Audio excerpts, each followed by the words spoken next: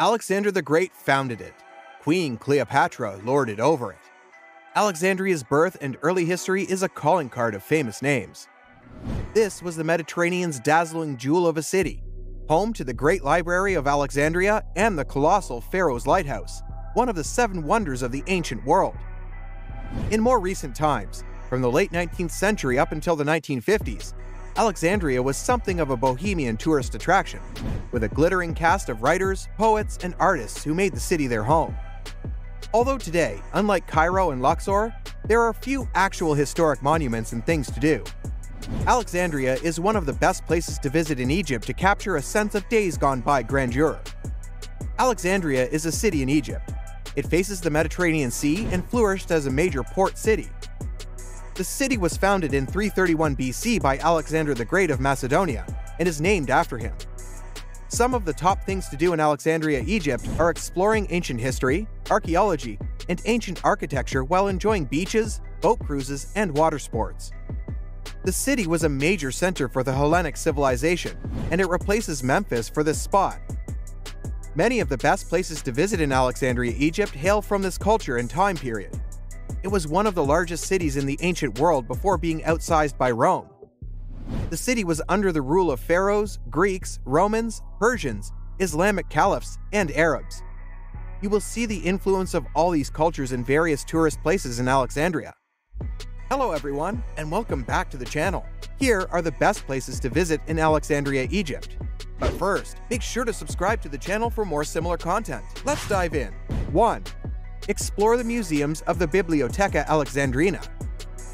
Most visitors to Alexandria beeline first to this modern reimagining of Alexandria's ancient Great Library. The Bibliotheca Alexandrina is one of Egypt's most important contemporary landmarks and the cultural heart of the city.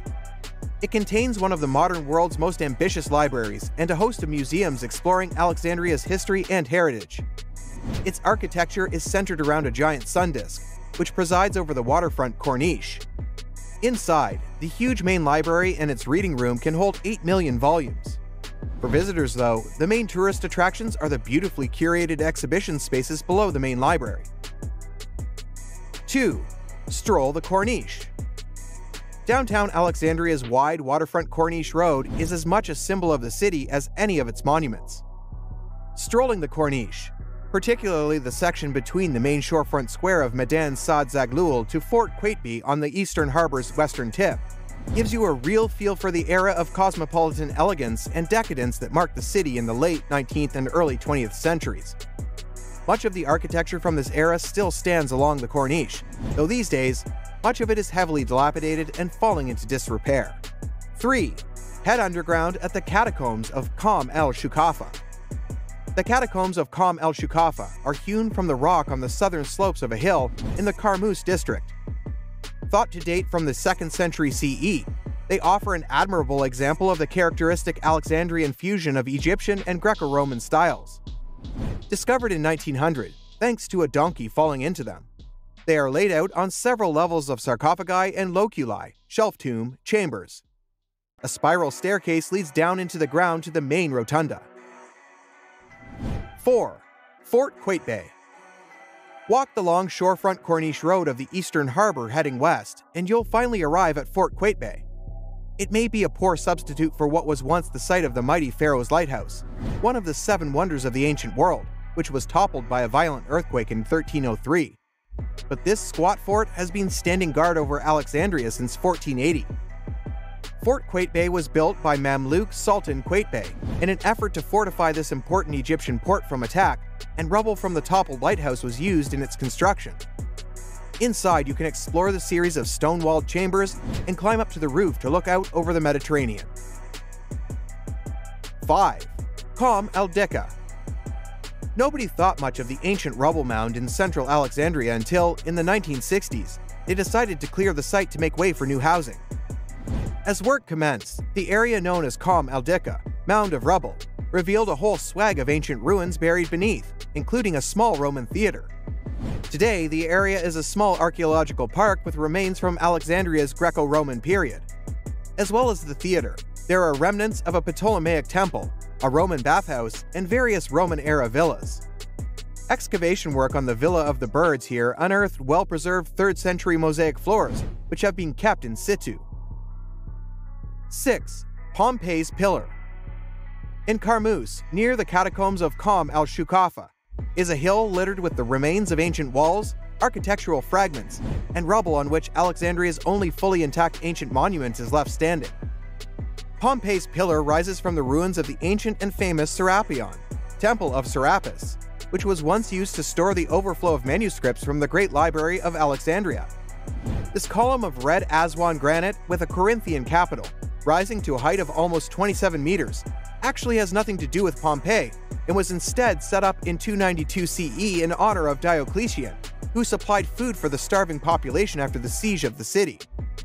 Underneath, there is not much to see of the badly ruined Serapeon, but you can clamber down some staircases into a substructure of chambers. 7. Dive Alexandria's underwater ruins. Unlike diving in the Red Sea, dives in Alexandria are not about colorful coral reefs and fish life. Instead, dive sites in the Eastern Harbor area are all about ancient underwater ruins. For divers, Alexandria provides a unique opportunity to dive amid the toppled statues and columns of the ancient city. Be aware that underwater visibility is low when diving in Alexandria. For underwater archaeologists, the waters off the coast here have provided plenty of riches in recent years. To the northeast of the city, in the Bay of Abukir, archaeologists discovered the port city of Heraklion Thonis and have brought many of the treasures to the surface, now on display in Alexandria's museums. For now, though, most of the recreational diving opportunities are still centered around the Eastern Harbor. 8. Alexandria National Museum Alexandria's National Museum is a must stop if you want to get to grips with the vast history of this famed city. Inside, the collection guides you from the Pharaonic era, in the basement, to the Hellenistic heyday, when Alexandria and Egypt were governed by the Ptolemy dynasty begun by Alexander the Great, on the ground floor, and up to the Byzantine and Islamic periods, on the first floor. The ground floor's exhibits of statuary and artifacts from the underwater archaeological explorations of the sunken port city of Heraklion Thonis in Abukir Bay are the museum's major highlight. 9. Montaza Gardens An oasis of calm on the city's eastern edge, Montaza is a lush haven of tall palm trees, trimmed lawns, and blossoming flowers that was once off limits to all but the royal court and their hangers-on.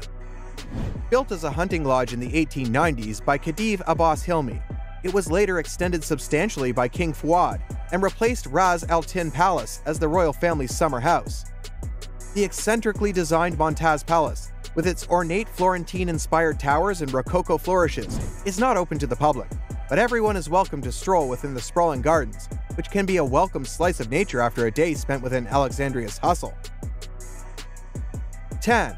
Dine out in Alexandria's fish restaurants. Many visitors come to Alexandria primarily to dine on the city's fresh seafood.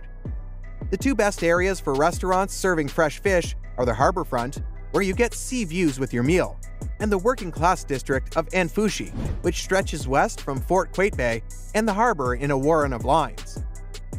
Just after sunset, Anfushi is the city's liveliest area, with traditional coffee houses spilling out onto the street and the scent of shisha water pipes, and grilled fish hanging in the air. That was all from us today, folks. For more similar content, make sure to subscribe to the channel. See you in the next one.